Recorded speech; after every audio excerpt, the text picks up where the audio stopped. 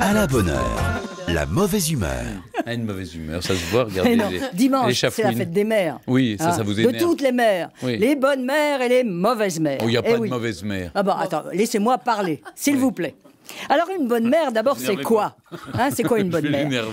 Une- En fait, une bonne mère, ça dépend pour qui. Parce À Marseille, il y a des bonnes J'étais Bonne sûr, mère. j'étais sûr qu'il me la ferait, il me l'a fait. Bon, La alors, il y a plusieurs façons de considérer la mère. Il y a le mari de la mère, il y a les enfants de la mère, et ça dépend à quel âge ils ont. Je vous explique. Par exemple, pour le père, la bonne mère, c'est celle qui lui évite d'aller aux réunions de parents d'élèves, c'est celle qui fait les inscriptions au club de foot, celle qui s'occupe de prévoir qui gardera les enfants pendant les vacances scolaires, c'est celle qui s'occupe des vaccins, des rendez-vous dentistes, de la carte d'identité perdue qu'il faut faire refaire, et c'est celle qui accompagne la classe aux séances piscine. C'est vrai ou c'est pas vrai Ah si, c'est vrai. Bérénice Pour l'enfant de moins de 10 ans, celui qui est petit, il voit avec son œil à lui sa bonne maman. La bonne et gentille maman, c'est celle qui fait taxi le mercredi et qui, et qui le trimballe trois mois au judo, deux mois au cours de céramique et trois semaines au conservatoire municipal de musique, le temps d'acheter un kimono, une clarinette et de découvrir qu'on ne sera jamais ni Mozart ni David Douillet. La bonne mère, quand on a 10 ans, c'est celle qui fait des nouilles ou des frites tous les jours. C'est celle qui achète au supermarché quand on arrive à la caisse toutes les cochonneries dont on a vu la pub à la télé. C'est celle qui dit que la maîtresse, elle a tort de donner des punitions à son petit chéri, qui est évidemment une petite merveille. Voilà. Pour l'ado, l'ado, selon son œil à lui, une mère géniale, c'est celle à, qui on peut faire croire qu'un ordinateur, ça sert juste pour préparer des exposés de géo.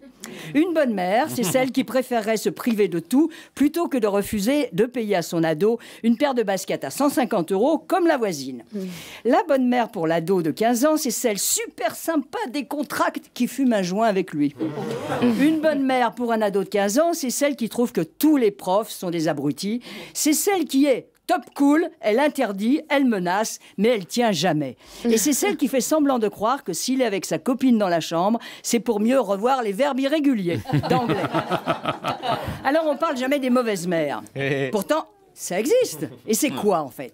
La mauvaise mère, c'est celle qui, sous prétexte qu'elle vous aimait à la folie, vous a lâchement fait croire que tout le monde serait en admiration devant vous.